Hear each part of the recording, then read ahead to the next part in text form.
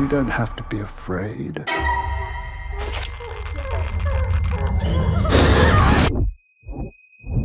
God has great plans for you. This child is his way.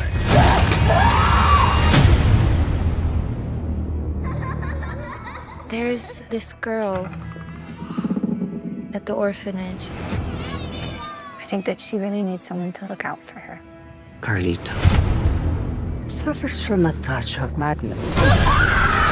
You must be very careful, Margaret. Bad things will start to happen around her. Evil things.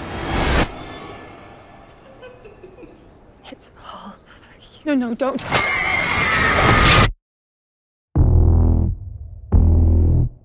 What does any of this have to do with Carlita?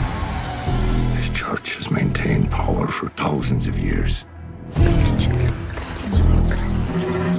Lady will stop at nothing to keep it that way.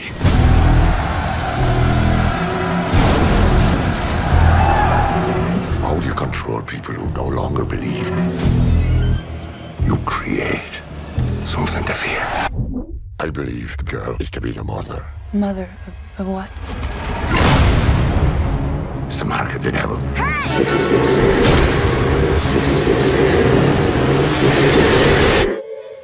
not real. It's not real. It's not real. It's not real. It's not real. What's not real? Who said that? This is very real.